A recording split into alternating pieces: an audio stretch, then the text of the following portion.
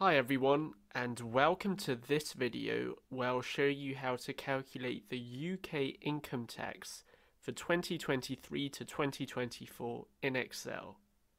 The UK income tax system follows a progressive system, meaning that those taxpayers that have a higher income will be in a higher tax band, whereas lower earning taxpayers will be in a lower one.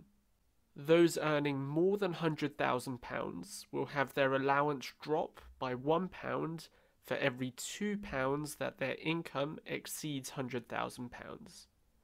In this video, we'll cover how to create an income tax calculator, which automatically returns your income tax payment based on the taxable income figure that you input. Before we start, I want to emphasize that I'm not a qualified accountant or advisor, and you should not use this video to substitute tax advice. Firstly, we need to calculate the difference between the taxable income and 100,000 in order to adhere to the rule I mentioned earlier. However, when the taxable income is say 43,000, which is below 100,000, the difference will be zero as the rule only applies when the taxable income exceeds 100,000. We can write an if statement to reflect this. If C6, in other words, the taxable income, is greater than £100,000, then we want to find the difference, in other words, C6 minus 100,000. And if not, so if this figure is not greater than 100,000, then we want it to return 0. Therefore, when we change the taxable income to a figure above £100,000, we can see that the difference is calculated. Next, we want to calculate the deduction in the tax-free allowance if the income is indeed greater than 100,000. Since the allowance drops by £1 for every £2 that our income exceeds £100,000, we need to divide the difference by 2. However, we need to ensure that the deduction does not exceed the tax-free allowance of 12,570. So if the difference divided by 2 is greater than 12,570, then we return 12,570. However, if the condition does not hold, then we simply calculate the difference divided by 2. This way, even if our taxable income is greater than 125,140, the deduction is capped at 12,570. Next, let's build this calculation table which we'll use later on to calculate our outputs. Firstly, let's input the tax thresholds.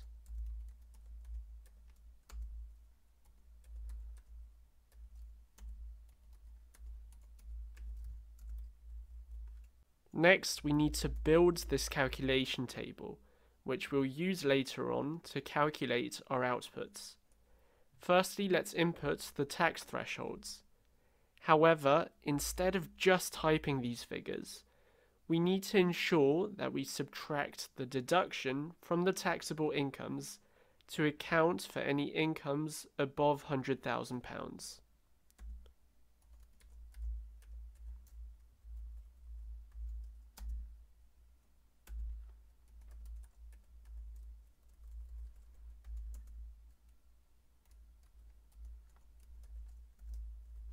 The main difference compared to the previous tax year is that the upper threshold is now 125,140 instead of 150,000.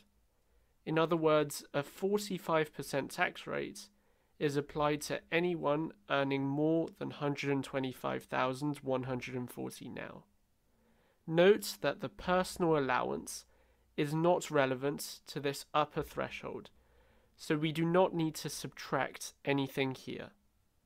Since our taxable income is 133,000, which is above 100,000, our calculation table has subtracted the deduction from the taxable income thresholds.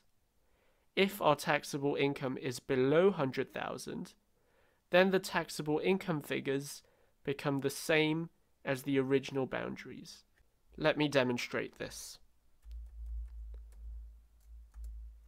Now before we calculate the tax payable for each taxable income, let's input the tax rates which correspond to each tax threshold.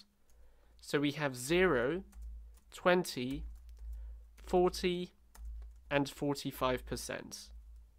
Finally, let's move on to the tax payable. The tax payable when our taxable income is zero is of course zero. The amount payable when our income is 12,570 is also zero, as the 20% tax rate only applies when the taxable income is greater than 12,570. The tax payable when the taxable income is 50,270 is slightly trickier. First, we take the tax payable in the previous band. We then add this to the difference between 50,270, which is our taxable income, and 12,570, which is the previous boundary.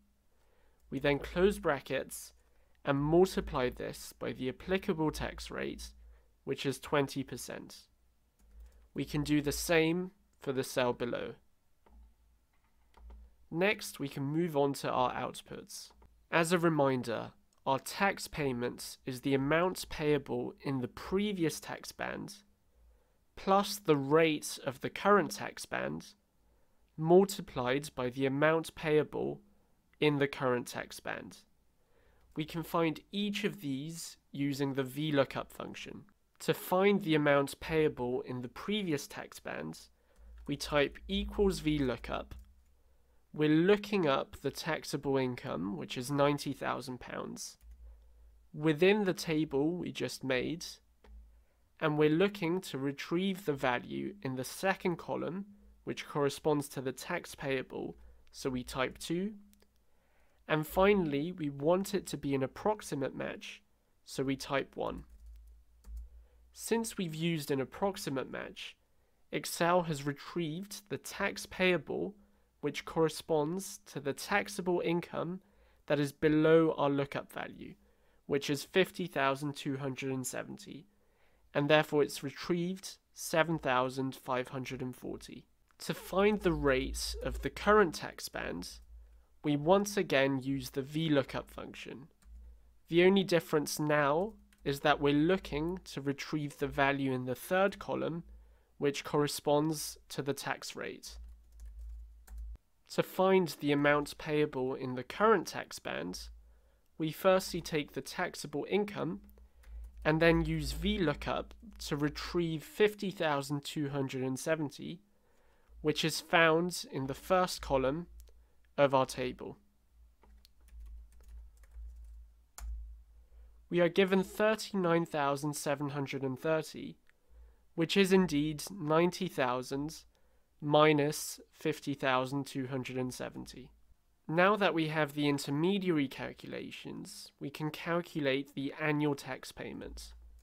This is the amount payable in the previous tax band plus the rate of the current tax band multiplied by the amount payable in the current tax band. So for a taxable income of £90,000, our annual tax payment is £23,432. We can now check whether our calculation works for an income of £110,000, which is above £100,000. The amount payable in the previous tax band is 7,540, which is correct. The rate of the current tax band is 40%, as our income is between these two boundaries. Finally, the amount payable in the current tax band is 64,730, which is indeed 110,000 minus 45,270 after adjusting for the allowance rule. This gives us the following tax payments. So that's how you can calculate the UK income tax for the 2023 to 2024 tax year in Excel. Please give this video a thumbs up if you found it useful and subscribe to the Excel Hub for future Excel tutorials, techniques and examples.